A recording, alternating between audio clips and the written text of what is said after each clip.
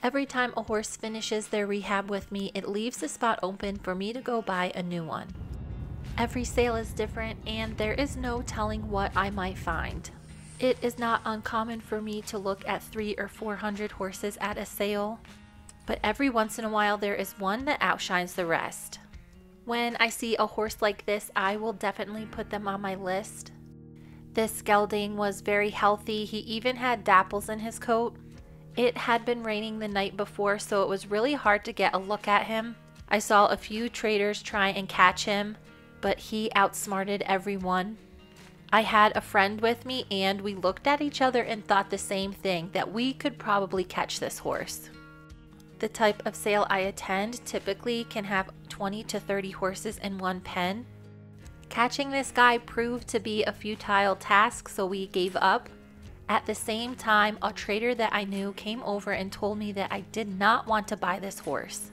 I typically don't listen when somebody tells me a horse is untrainable, but they insisted that this horse wasn't going to be worth my time. I don't really like people telling me what to do, so when this horse came through the ring, I just had to buy him. When I paid for him and got his papers, I noticed that he had a very interesting name. I give my horses some weird names, so I didn't think very much of it. But when I tracked down the trainer that brought him to the sale and I asked about this horse, his face went completely white. He apologized to me and said he was sorry I bought the horse and that he was very difficult. He had bought him as a prospect and they just could not get him halter broke. I understand the economics of being a full time horse trainer. Horses like this one are not suitable for the majority of the horse owning population. He did say that they had a halter on him, but they were only able to put it on while he was in a chute. This is a Mustang in a similar chute to what he probably was put in. Even if they are completely wild, it is fairly easy to get a halter on him that way. Since I already knew that this colt had a very fractious mind, I decided that I would start from the ground up with him. He was really quite scared of people, but in no time he warmed up to Huckleberry and I used that to my advantage. It took me several weeks of just hanging out in his pen and letting him sniff me until I really thought he started to open up. He began to eat some grain out of a pan that I held. After his 30 day quarantine, it was time to start halter breaking this horse. Even though this guy was a domestic bred horse, he acted a lot like a wild one. He was extremely sensitive to touch. He was the kind of horse that you would be able to pet with your stick, but you could see tension all throughout his body while you were doing it. Even though he was terrified, he really tried to be brave. The auction that I bought him from was in January and we still had quite a bit of snow. Every day I do the same thing with him and eventually I noticed his body start to soften. He was no longer snorting at me when I came in his pen and I could give him scratches without him thinking about running away. It took probably about three weeks for him to start looking at me for more guidance. At this point, I just started gently moving him around the pen. He figured out how to move his bodies depending on my cues. He also became more calm with me approaching him as long as I was still a stick length distance away. At this point, I kind of got to know him a little bit better. He was pretty scared of humans, but the other thing that he was really nervous about were the geese flying overhead. One day I just started calling him Goose, and that seemed to stick. I spent a lot of time approaching him and then retreating when he got too nervous. And eventually he offered our very first touch on his own terms.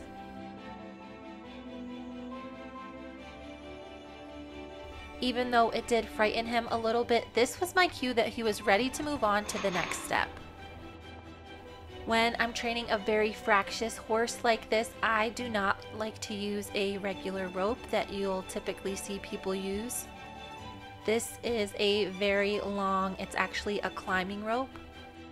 If you've watched Scarlett's halter breaking journey, it is actually the same kind of setup. It is just one long piece of rope that you twist up to make a little bit of a neck rope. After years of working with very fractious horses, I have found that this is the best way. You can very easily take it off if they get scared and it doesn't leave any marks on them in case they get in a sticky situation. This very beginning stage of the halter breaking process can be like a dance between human and horse. Goose seemed to learn the first few steps with very little trouble, and in no time we were building on our first couple of touches with the help of the rope. With the extra security of the rope, he was getting much more brave about me approaching him. These very reactive horses can be extremely hard to train. You typically have to break down each individual part of the process to them. And if you push them too far, they will just get scared and typically run away. Goose had a very low threshold for fear, so whenever he got scared, he would just run when something startled him, he would run away to escape whatever he was panicking from. Most of the time, it would be what I did. I moved in a weird way or made a motion that he wasn't familiar with. For some reason, jumping up and down really scares these fractious horses, so it's one of the things that I do over and over again until they calm down. Tiny had to get a little cameo in too. Another little test I like to do with them after I jump around is to reach down and pretend to pick up something off the ground. That motion also has a tendency to startle these horses. He would have a few bursts of energy, but then he eventually would stop and realize that what I was doing was not scary at all. After he had been fully vaccinated, I could finally put a buddy in with him this is Frisco Bill. He helps me train a lot of the young fractious horses. I continued to train Goose as the weather allowed. I always have a few horses in training, so I do have to balance my time. You can see Pete and Gus tied to the trailer behind us.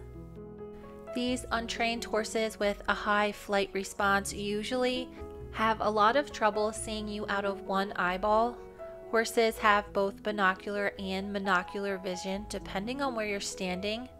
I have found that once you pass their eyeball, they see you a little bit differently, and that can really scare these horses. They have a harder time perceiving depth when they only see you out of one eye. I try to use my stick as a touch gradient because usually I can't get close enough to these guys to touch them with my hand a misconception is that you are desensitizing with the stick, but really you're just letting the horse know how close you are to it. And this just helps them calculate where exactly you are in relationship to their body. As we moved along in training, Goose got a little bit too sensitive when I made his round pen smaller. He did not like me swinging my rope around when I went to catch him, and I had to change my game plan. I have found that these sensitive horses, if you push them too much, then you lose a lot of ground on them. Typically, if you just change one single thing about how you're operating, for some reason it's a little bit different in their brain and they'll calm down. Goose wasn't actually afraid of the rope, he was afraid of the throwing motion. After we got that straightened out, I was able to put a halter on him for the first time. A few days later, I was actually able to tie it. It took me exactly two months to get a halter on Goose, which is quite a bit of time for a domestic bred horse. I think there are countless benefits to taking the time it needs to take to get these horses brave enough to accept everything you do to them. I do think the end product of a horse that gets roped and pulled around is a little bit different than a horse that you allow to have a say in how fast they want to be trained. You are able to build a lot of bravery and curiosity that you wouldn't otherwise get if you were just roping them and teaching them simple pressure and release.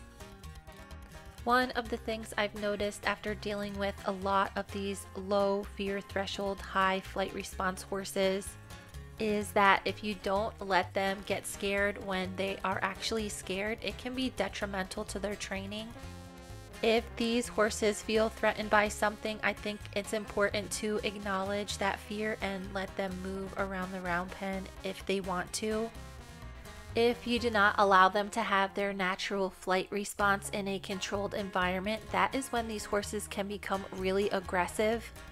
And a lot of times, when somebody says they have a dangerous, untrainable horse, this is what has happened to them. Their flight response and fear is not acknowledged by the trainer, and their last resort is to get aggressive. Every session I had with Goose, he got a tiny bit better. He was starting to become more curious and brave, and that is when I decided to start ponying him. Goose was over a thousand pounds when I bought him, so he was a pretty big young horse. A big hurdle for these high flight response horses can be walking in an open space. And so I don't get pulled around. I think it's a lot better if I do it from a horse. In addition to staying a little bit safer, I do think it gives these young horses some more confidence. At the three month mark, I finally was able to do some work on this guy's hooves. This was the very first hoof trim that he had ever had.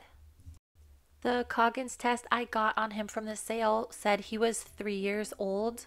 And since it was January when I bought him, I figured he was actually probably two, turning three sometime in the spring. Physically, he was very mature, but mentally, he was not quite there yet. After about four months, I was finally able to start walking up to him without the help of a neck rope and put his halter on. I began teaching him how to drop at his withers, and he proved to be a very sensitive horse once again.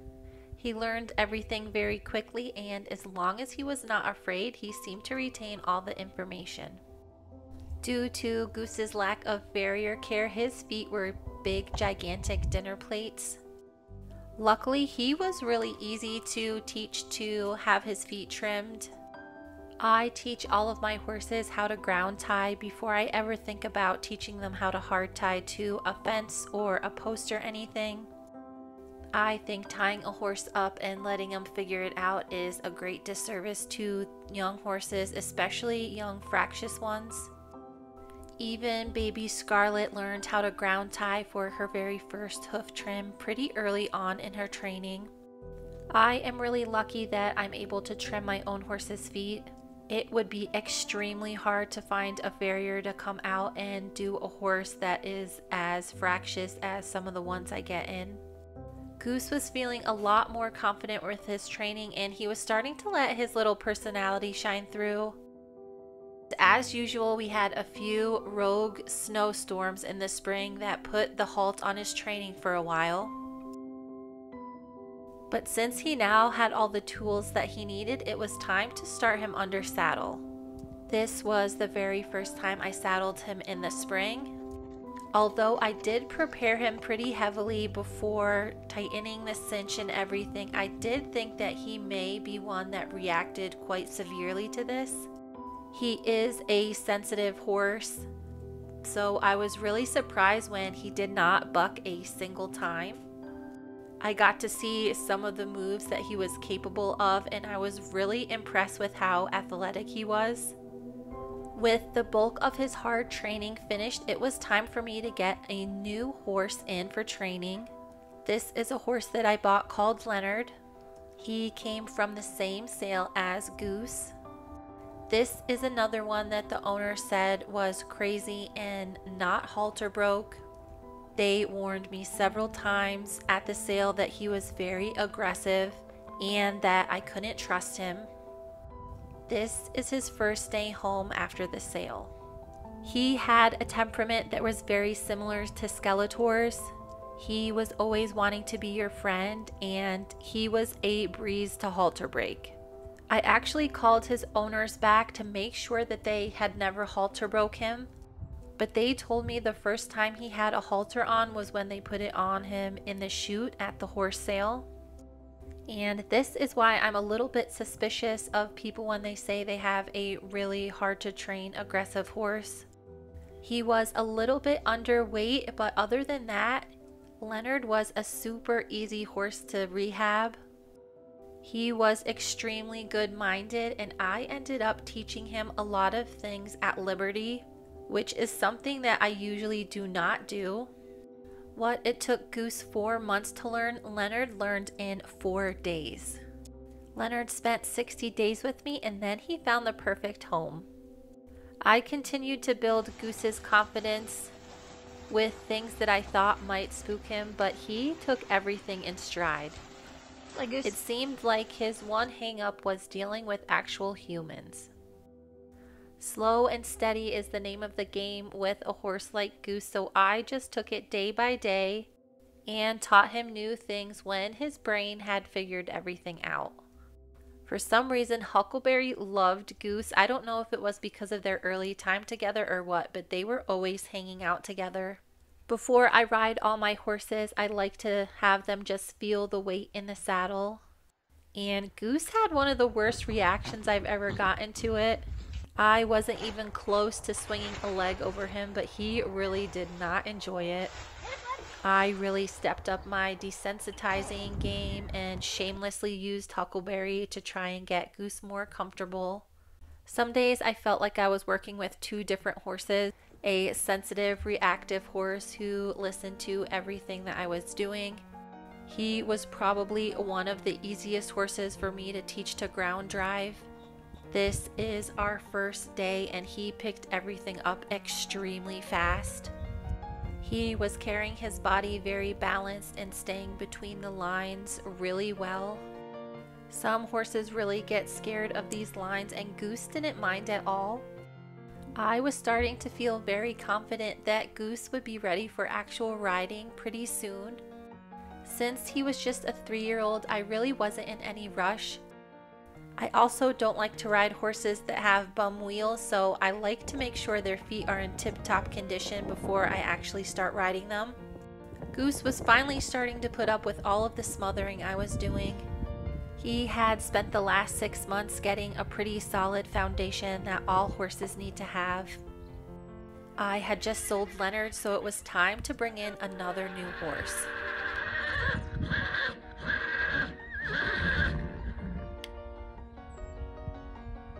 I had found a really nicely bred stud horse on the internet. I went back and forth about getting him because he was 17 and had spent most of his life alone. But with Goose safe out on pasture and with a strong foundation, I felt good taking a chance on the stud. Goose finally got to go out on pasture and boy was he happy. Frisco Bill put up with his shenanigans like he does all of the other colts, but he really never bonded with Goose. With Goose being such a young, playful horse, I really wanted to find him a buddy that would help him become more comfortable in his new life. I spent the majority of the summer trying to put some training on my new stud horse. In the end, I made the difficult decision to geld him. When he was recovered, I introduced him to Goose and they became best friends almost instantly. I continued my quest to get this guy going under saddle, and it was really neat to see Goose and Whiplash bond like they did. Goose got a lot of confidence because Whiplash was so brave and Goose taught him how to hang out around the other horses. I had completely forgot that Goose was supposed to have a brand. Although I had never actually seen it on him, I did some sleuthing on the internet and wound up getting in touch with his breeder. They sent me the cutest baby pictures of Goose and they also let me know that he was registered. They graciously sent me his papers in the mail and when I received them, I started to understand Goose's temperament a lot more. He was a double bred Hancock on top. These horses are known to be super tough and they can have a tendency to buck. The Paddy's Irish Whiskey on the bottom side totally explains how smart and responsive he is. Another thing I found out when I got his papers was that his age was really off. Instead of being three when I bought him, he was actually six, which made a lot more sense because I had been waiting for his baby teeth to fall out, but he had already lost all of them. Even though he was actually a lot older than I had thought, his brain was still not very mature. He still required a very slow and steady training approach. Every new thing he needed to take a lot longer to digest than the other horses. As time went on, I continued to put more training on him as the seasons changed. Concepts that other horses learn in three or four sessions took Goose weeks and weeks. He would excel at a much faster pace if I was able to devote a bunch of days in a row to him. But when I got busy with my real job or other horses, he would regress a little bit and forget that I was really here to help him. Although not untrainable, Goose is the perfect example of a horse that ends up at an auction because he is very hard to handle. A horse like this in the wrong hands could easily injure an amateur owner, and they simply don't make sense for a lot of professional horse trainers to keep in their barn long term. Unfortunately, Whiplash does get severe anxiety when Goose leaves now, it has made it almost impossible to take Goose off property and continue his training. Goose is in the same boat as Pete. Typically, they get set on the back burner while I work the other at risk horses and move them onto their new homes. I have a lot of young horses to start under saddle this spring, and hopefully, you guys will stick around to see that happen. Thank you guys so much for watching, and stay tuned for the next video.